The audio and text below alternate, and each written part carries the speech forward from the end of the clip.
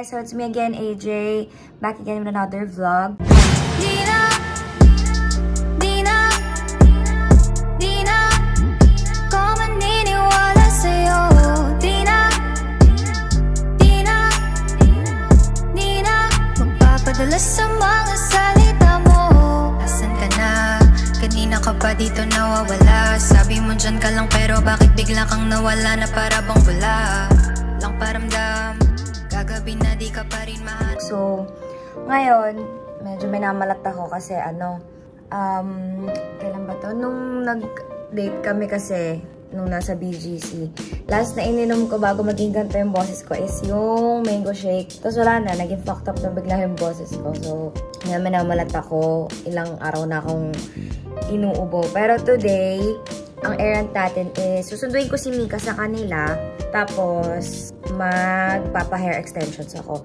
And magpapalit ako ng color ng hair ulit. So, yon I-recommend din kasi sa akin ni Mika. So, try natin. Sana bagay. Pinili, pinapili ko naman si Togs kung ano yung trip niya. Kasi meron din ako mga set na pinakita sa kanya kung anong color, kung anong length, ganun, ganyan. Sobrang weird ng boses ko. But, yun, titignan natin mamaya, guys. So, susundin ko muna si Mika. Magpapaalam muna ako kasi nag-i-stream pa siya sa baba dahil may event siya. And, dadalhin ko kasi yung GD para masundo ko si Mika. So, yan. Baba muna tayo, guys. So, ngayon, guys, susundin na natin si Mika. Sorry, nagulo. Tapos, pupunta na tayo dun sa nire-recommend niya. Diyan, hair extensions. Meron na kasi silang branch dito sa Angeles. So, yun. Pupunta na, pupunta na natin siya ngayon. Mga makeup ngayon, Jamie. So, yun guys. Balikan ko kayo mamaya. Hi guys. So, ngayon, we've reached ate. Ano na yung matay? Ate Mika, yung hair ko. Kasi, ang daming patsi-patsi. Sana mag-live. Tapos, mamaya kakabilan na ng hair extensions.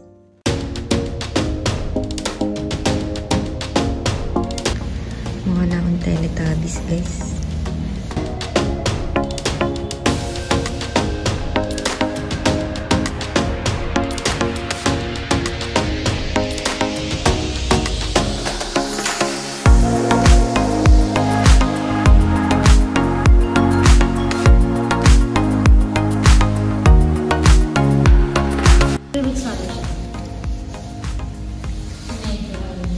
Guys, ito na yung kulay niya.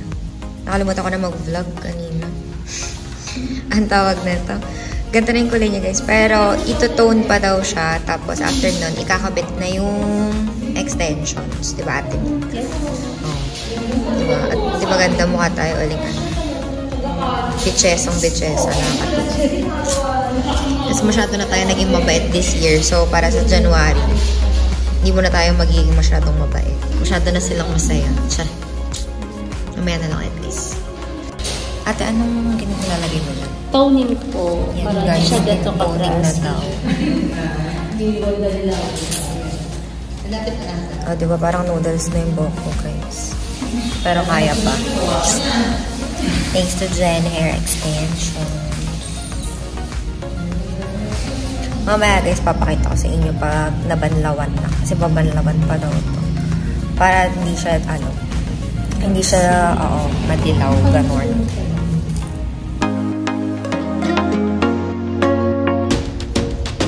O, diba may choking pa dyan. Kumain kasi kami kanina.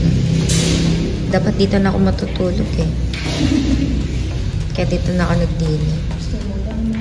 Joke lang to eh. Di may overnight yarn. Yan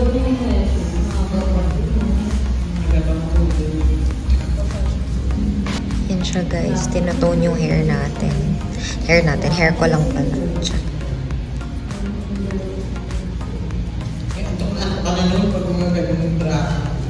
Yun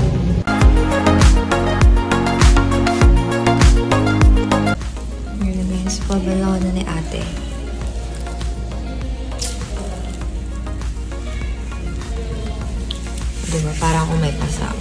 Siyempre sa kulay yan kanina, dun sa base ng kulay ng buhok habang hina-highlights kanina. Para talagang noodles yung buhok ko.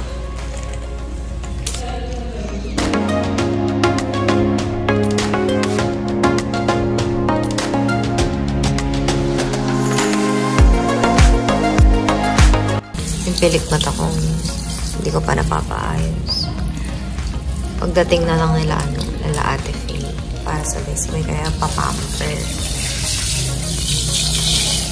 Paglabas pala, nakadating naman na sila ng Pilipinas, pero paglabas nila sa quarantine.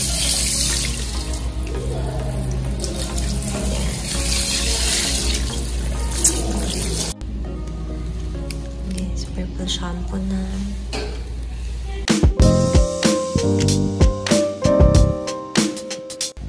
Buti na lang talaga di ako nagbasa ng buhok kanina.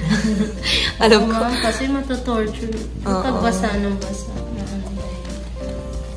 Half bath lang ko kanina kasi alam ko sashampoo-shampoohan din yung buhok ko. eh. Alam nyo na guys, tipid tips. Tsara. Lagi na lang nagpaayos ng buhok eh, no, para di magbasa ng buhok sa bahay. Na-excite na ako magkabit ng extensions, te. Kahit alam kong lang. mag-overnight tayo dito. Mabilis na lang. Mga ah, mabilis na lang to. One and a half. One and a half hour. Anong oras na ba? Mga 9 na siguro. 8.30 na kanina. Ito yung pinayagan akong mag... Oo, magstay ng ganito katagal. Kung mga ganitong oras, bad trip na yun eh. Kaso kanina ka video call ko, tumatawa pa, buwisit. Naasar yung buhok ko. Ang dami ko kasing foil, tapos parang may face shield pa sa mukha. Mukha daw akong ano, nalugi. Tinderang nalugi. Baliw talaga yun. Yes.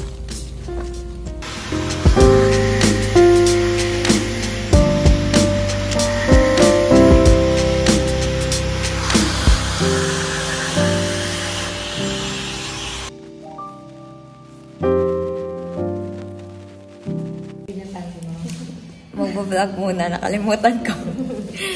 Time check guys, 12.33 na ng madaling araw. Ako na talaga magsasara neto eh, nag-usap na kami. Mm. Akala ko mga ano, 12 tapos na to. Kaso, ang dami pang kinulay na hair extensions. Inaantok na nga si ate. Buti na lang nagdala si Mika ng kape. Na maaano na yung mata niya eh. Ang ganun na guys. Good shit. Good shit. Tatlo na sila. Ayan. Naiwan ko kasi yung GD malapit sa bahay nila. Hindi ko yung expect na ganito katagal. So, yun. Sundo na lang. Tapos yung isa inaantay ako umuwi kasi mapapamasahe pa. Sana gising pa siya pag uwi ko.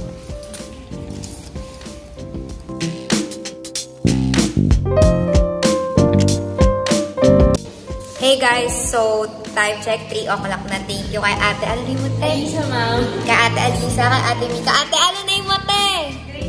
Ay, Ate Grace. 3 o'clock na kami natapos. Ang ganda-ganda ng hair ko.